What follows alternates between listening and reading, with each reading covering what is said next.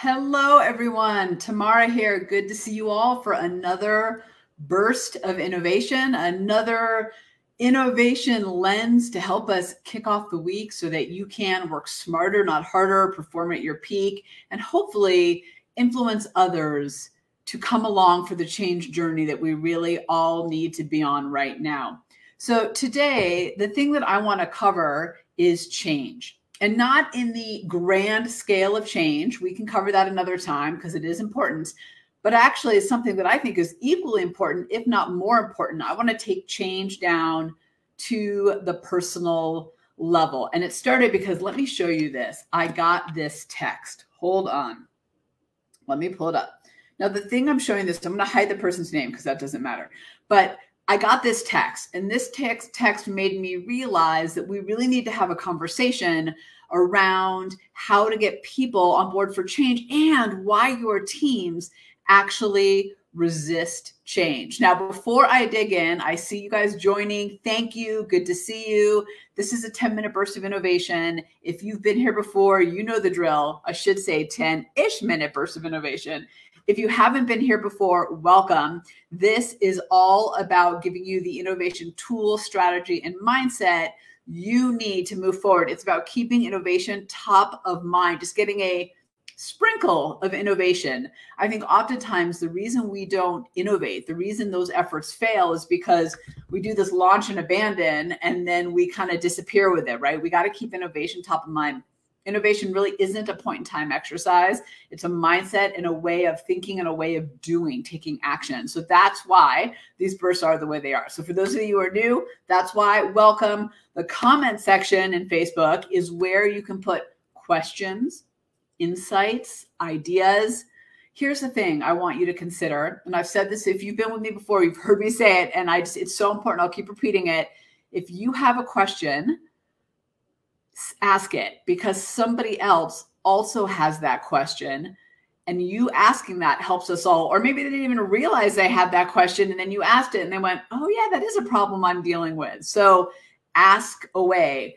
And this is about bringing out my best and what i know but this is also about your brilliance and your innovative mind. So if you have an insight or an idea or a piece of advice that you want to share put it in the comment section. We are so as one of my clients has said to me, she, in fact, funny enough, I just emailed her. She said this to me in March when we started on this roller coaster journey. We are in this, we are stronger together. So your comments are as important as my comments. Your advice is as valuable, if not more valuable at times than mine. We all have incredible experience that we bring to the table.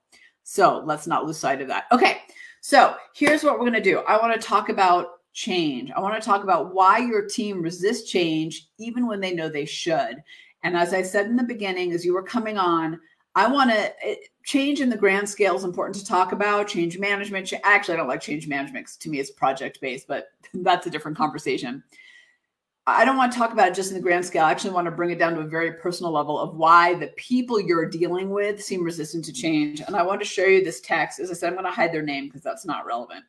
Um, but I got this text from them in all caps, and it says, "It's not that I don't agree with the direction. This this was about a whole a pivot that the company needed, the team needed to do to keep up with the changing times we're in." So here, I'm going to let you read this. Actually, said, I want to cover their names because that's not relevant. I don't know if you can see that. So it's not that I don't agree with the direction. It's that I'm not on board to actually do it. Do you see how that's all caps? So oh, it reflects in there. That's one of my favorite things about it.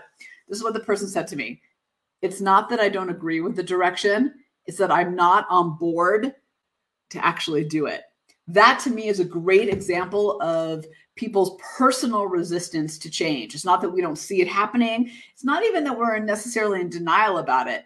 So here's the thing I want to talk, I want to give you four reasons why people resist change. And then I want to give you three very simple things that you can do as a leader in your organization, regardless of your title, that will actually help get people over this hurdle. And there's an overarching statement that I want you to remember in all of this because we talk a lot about change and say people resist change, people resist change, people fear change. That's actually not accurate.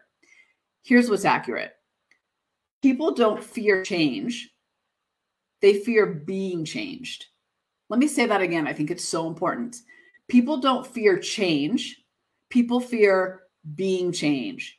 Do you see the distinction in that? People don't fear change itself. We change all the time. We change directions, we change jobs, we learn new skills, we have difficult conversations with people that lead to differences in opinions and change. We change all the time. But as humans, what we do truly fear is being changed, us as individuals being changed. And all this swirling around us of change that's happening is happening to us and part of the reason your team may be resisting on an individual level that turns into a collective level, part of the reason they're resisting is because they're fearing being changed. So let me let me break that down and show you. I even wrote these on sticky notes so that I could show them to you. So the first one is the way this shows up is people fear change, right? Because it's happening to us. It's not us in control. It's not us. We're not, we are not the ones you know, deciding what happens with COVID and the election. And oh my, I mean, the list goes on, right? Social change, all political change, all of it. It's happening to us. And the problem is, and let's take that to a company level, when that marketplace changes and the customer demands change and needs change and your demands change and your boss's demands change of you, that's happening to you. That's happening to your team. And when that happens, you also don't feel valued. So that's another problem that comes out of it. So that's the first thing. The second one is, and this is no surprise. I mean, let me just ask you before I say this put this in the comment section if this has ever been you, what I'm about to say, because I know it has been me on a small and a big level. People fear whoop, the unknown. And what that actually translates into is a fear of not knowing what to do, being left behind, just total uncertainty. Tell me if that's ever been you. I'll tell you whether that is not knowing where I'm going. I just took a new route to get somewhere and was all panicked because I was like, I don't know if I'm taking the right turn. I don't know if I'm going in the right direction. Like I was so afraid of getting it wrong. I put left behind, but I think it's also of getting it wrong. I was so afraid of getting it wrong that I was panicked. In the meantime, the GPS got me there. I even had a guide and I still was panicked, right? That's on a small level. And I think on a grand level, this this disruption that we're all facing has created new challenges and new opportunities. We've talked about that before. But that means we have to create new solutions, new innovation, new thinking to solve these challenges and to go after these opportunities. So our fear of being wrong is actually totally dialed up. Okay, tell me if that's you. Cannot be alone in this. All right, the fourth, third one is, and this is no, you know, I love that lizard brain. Mine's Bernard the lizard brain sees there. The lizard brain sees kind of change as unsafe and risky. So your lizard brain's over there wanting to keep you safe, wanting to keep you comfortable. So anything that's changed, even like this text to me was a great example of that because even though they agree the change has had to happen, they still didn't do it. They still didn't want to do it because their lizard brain's going, it's too risky. It's too unsafe. Don't do it. Hold on. What did it say? Yes, Yes, changing sectors in the organization. Yes, right. So that's like, well, what does that mean? Well, what if I get it wrong? Well, what if I don't know what I'm doing? What if I get left behind? Thank you for sharing that. I totally get it. Okay, the fourth one is, and this is the big one, and goes back to my overarching statement and the three things I want to give you to actually help your team overcome their fear of change. This is a big one. People fear, the reason we fear change, the reason we resist it is because we're afraid of it changing who I am, not what, but who. So, not just my job title, my skills, not just that, but me as a person. We take it personally. So, new new world requires new thinking and new skills but the fear that comes out of that is you're cha- i there's a fear that i'm going to be changed now i know what some of you logical think, thinkers are out there going well tomorrow yeah but change is happening and we have to deal with it Yes, I could not agree more. But the flip side to that is the frustration that comes along when you or your teams won't change. And the reason for that are the four things I just talked about, right? It's happening to us. We have no control over it. We have this fear of, of being left behind, of the unknown, of being wrong. Um, our lizard brain sees it as unsafe and risky and holds us back. And we're afraid it's going to change who I am. So for you leaders out there, I want to give you three very, very simple ways to actually help people overcome it. Because again, remember, this is not actually a fear of change. This is a fear of being changed. So we're going to get them on board with change and we're going to minimize the fear of being changed because that's actually where the resistance comes from. They're not actually the same thing. Okay. So the first one is I'm going to write these down too. Oops.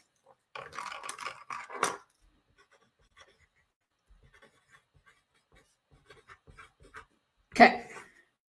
Number one is find ways to give control back to the people around you. And it could be really small things. I'm going to share a personal example and a business example. So, on the personal side, right? So, my kids have no say in dinner and food and like all that, right? Because I deal with all that. But I try to give them a little bit of control so that they feel more part of the process. So, I'll say to them, hey, um, I'm going to go to the grocery store. Do you want me to get hamburgers or pizza for dinner?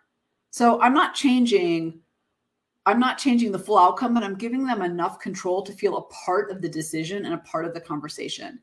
At work, when I'm with my team and I've decided we are gonna we're gonna take a different direction in something, instead of saying to them, "Here's what we're doing, now you do your part," I'll say, "Here's what we're doing, and oh, in this ten percent."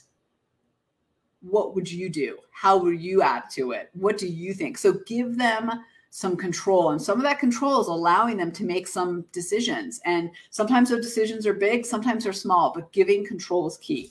Okay. Number two.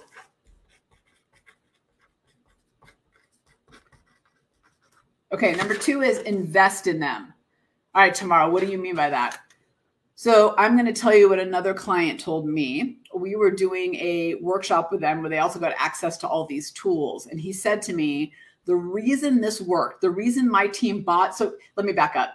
He had to get them to agree to some major changes that had to happen. And this was stuff coming down from high up in the C suite that he had to get them to buy into because they're the ones doing the work. And what's smart about this client is he realized, hey, if I just go to them and say, look, here's the here's the landscape, here's the changes, go do it. He said they'll mentally agree, but they're not going to actually be on board and they're not going to do it to their best kind of like that text I was showing you, right? They'll mentally, like intellectually, they'll get it, but they're not going to do it.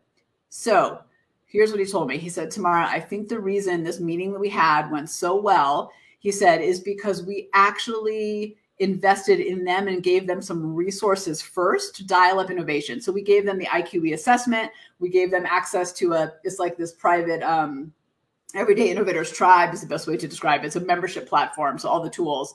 Um, and this happened in a different way for with them for a million reasons. But anyways, that's not the point. the point is we gave them tools. We invested. He invested in them. He gave them all the IQE so they understood how they innovated. Like you put all that together. He said, because I invested in them, they felt invested in themselves and they felt invested in the change. And I think that's where both giving control and investing in them makes a huge difference is they're then invested in the change and what has to happen next. Okay.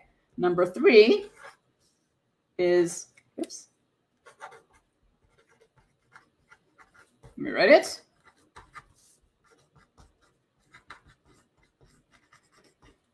Number three is acknowledge all effort. Now, I put all in here specifically because it's not just about acknowledging the good. It's not just about acknowledging the successful. It's not just about acknowledging the ones that say the things that you want them to say. It's about acknowledging all the effort that people are put in. Now, I'm not saying effort is everything. So sometimes that effort leads to failed effort, failed results. But what I am saying is when your people are trying to open up to change, when they are pushing aside their fear, it is important to validate that and recognize it. We all want to feel valued for the contributions. And as you'll recall from kind of this, right? If they are afraid and that things are risky, if they're afraid of being wrong, if they have a fear of the unknown, acknowledging through the process of change is important. Now, this doesn't mean uh, validating the narrative that, oh, it's so hard all the time. Oh my gosh, it's so much work. I don't mean that because that is actually a spiral downward. It is really about acknowledging the energy and the investment and recognizing your people. I think in times of massive change like we're in, we need to do that a little bit more to keep people focused and productive and on point. We've got a million distractions happening in our lives right now. So, okay, so here's my question to you. I want to know in the comments which speaks to you and your team. And maybe it's all three, and that's great. All three of them really do work together. But are you going to think about how to give control to people on your team? Are you going to find ways to invest in them? Are you going to acknowledge all the effort? Which one of those? And as you're writing that in the chat bar, let me just write something down here. You write that in comments while I write this.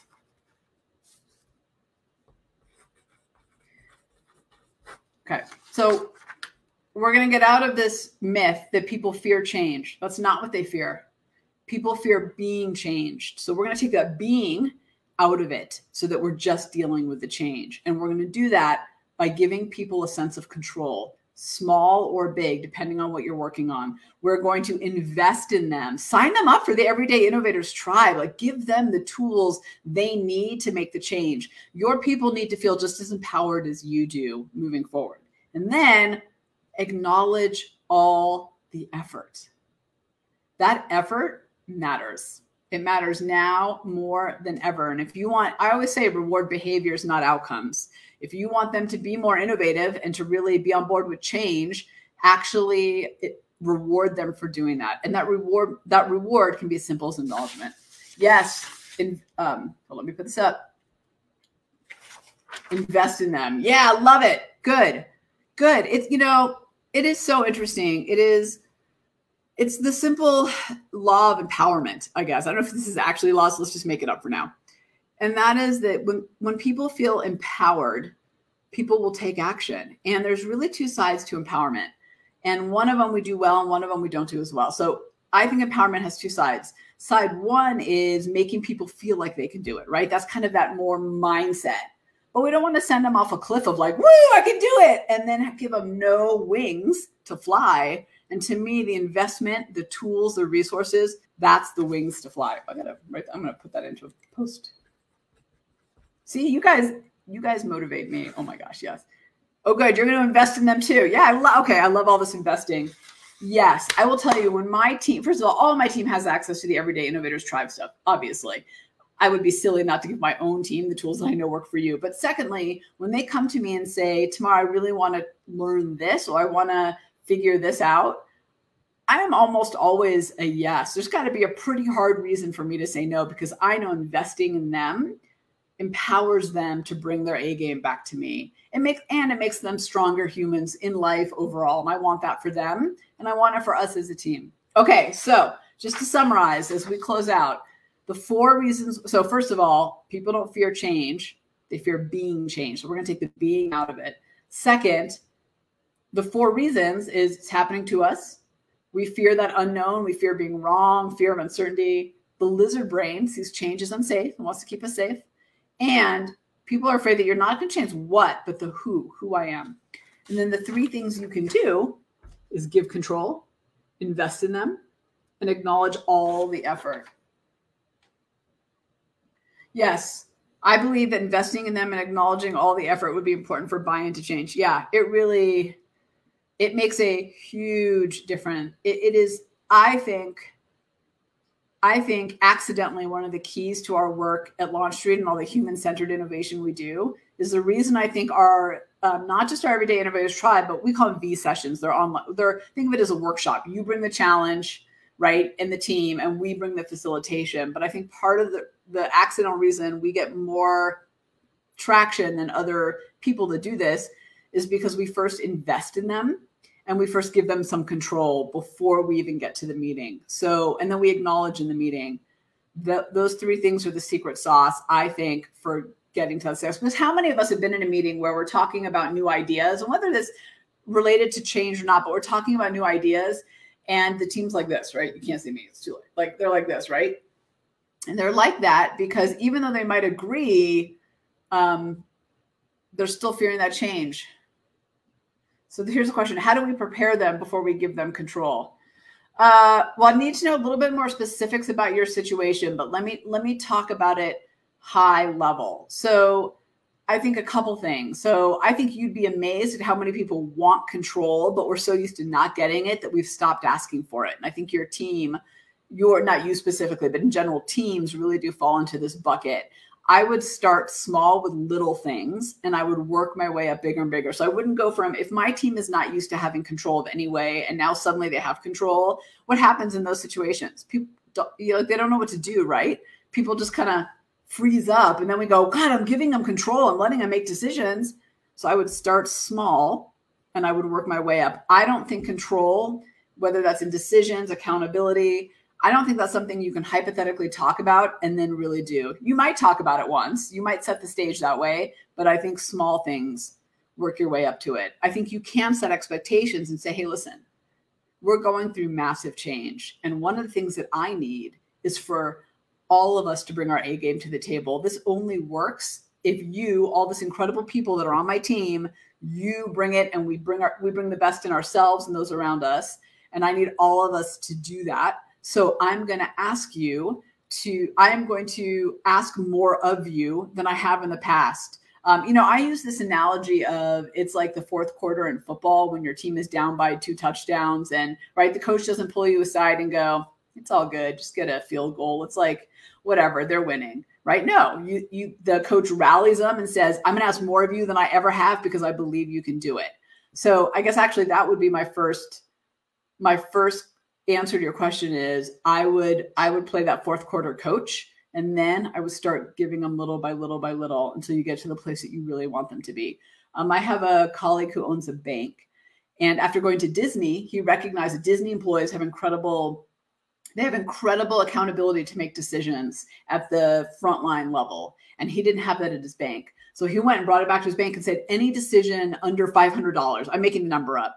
I can't remember what it was you get to you get to have control over like you get to make the decision. And the tellers at the bank for the first couple weeks still asked him on $10 decisions because he went from no control to a decent amount of control. So then he had to really back it up and go and have them together and say hey how would you deal with this? Hey in this situation i'm giving you control. And then that and then he worked his way back up to 500 but they needed some warm up. They needed some practice. Okay hopefully that answers your question um, it was a little bit all over the place, but there were a lot of good nuggets in here. Thank you. Thank you. Final reminder, reminder people don't fear change, they fear being changed. Take the being out of it. All right, everyone. Good to see you all next time. Tamara out.